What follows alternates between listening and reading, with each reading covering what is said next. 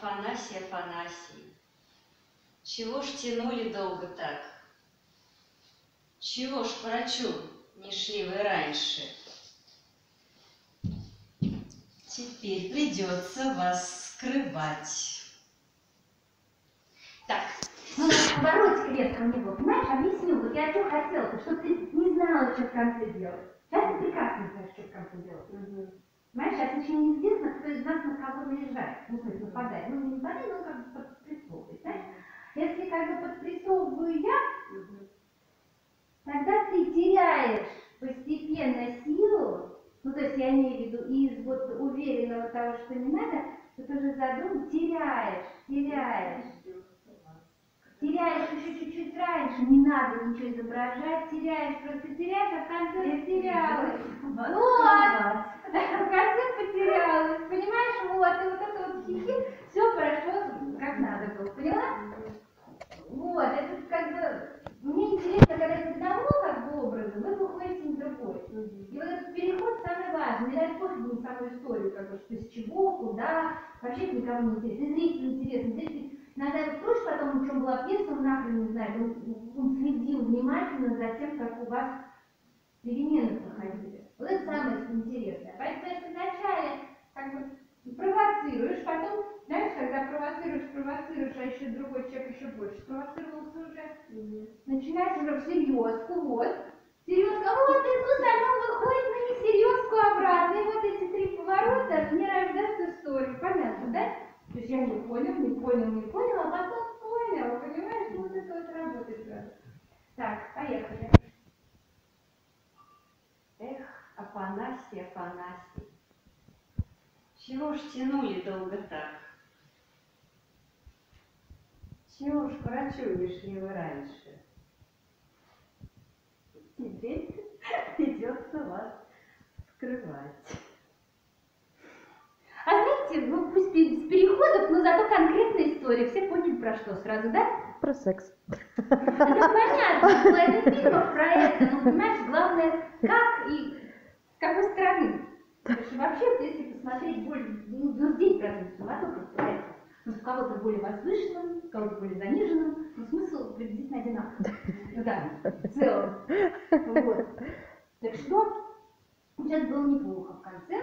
Я имею в виду в каком смысле, что а, эмоцию ты эту разносторонне передала. То есть, вот, что я допускаю вместо переходов, да, иначе мы сейчас все-таки их забивали. Потому что, когда эмоции не одинаковые на все четыре строки ровно на той же фазе, а она здесь увеличилась, и потом чуть-чуть тебя не на растеряшку, а на то, что ты захотела этого Афанасия сама ну, как сказать, еще неизвестно, кто бы на кого. Понимаешь, да, эту ситуацию? И поэтому в этом смысле, что произошло изменение внутри одной эмоции. Это тоже хорошо. То есть главное, что этот ход был. Такой тоже возможно. Вот я про что, вот это вот, да, есть разнообразие и перетекать между разными эмоциями. Вот то, что у Гриши хорошо сегодня, да, вышло вот здесь, у нас хорошо получилось. Вот, а здесь мы как раз продлили одну эмоцию, то, что делали вы, и у вас получилось вообще на одной эмоции. То есть вы ни откуда не соскакивали без перехода, но сделать разнообразие. Это тоже очень хороший вариант. Иногда такое бывает, что нужно, например, расставаться в одно и то же состоянии, имею в виду в целом, например, состояние горя, да? Но если вы будете все время в одном горе, ну, в смысле, в одном, да, так сказать, силовом напряжении, оно никак не меняется, зритель потеряет, даже несмотря ни на что, это же эмоция сильная, но уже на второй секунде ну, подустал от да? А если вот оно будет чуть-чуть в рамках диапазона вот меняться, будет тоже очень неплохо. И вот сейчас, я вам сейчас, ну я, естественно, помогла, да, как мы понимаем, наездом камеры и то, что мы вот это так обставили. Ваша же задача научиться делать это независимо от камеры, да, ну то есть к чему мы будем дальше идти. На стежке это было окей, потому что это ваша первая, можно сказать, ну как бы какая-то законченная вещь, да, которую можно ну, показать кому-то или как-то даже, ну, в смысле, виду, вы себя в ней проявили, да, то есть первый, можно сказать, такой этюд, персонаж законченный, да, поэтому это окей, здесь дано, поэтому я считаю очень хорошо. Но я имею в виду, например, если вот то, что вы сейчас будете дальше делать с Ларой, уже пойдет новелла, да, или для сонета, здесь уже как бы ваша, ваша задача будет входить то, что вы независимо от камеры и тем, что я могу режиссерски вам по-другому помочь, чтобы у вас это произошло. Понятно, что потом мы опять же дадим все возможности, я вам буду как раз мизансценой помогать, когда мы будем делать сцены на сдачу, да, и работать на сцене, но то, что мы делали, например, с вами в прошлые разы, когда мы делали с вами, да, эти самые импровизации. Вот, там уже и опять помогала и мизансцене, и еще mm-hmm. чем-то, какими-то ходами, да, дополнительными, которые можно было себе помочь, чтобы это сыграть. Но потому что там уже, извините, работать с партнером, там уже слишком много других задач, и для любого актера, и для профессионала, и для нет, естественно, создаются вот эти условия помощи со стороны всех других цехов, чтобы сложилось, главное, чтобы с эмоцию сыграли. Понимаете, да?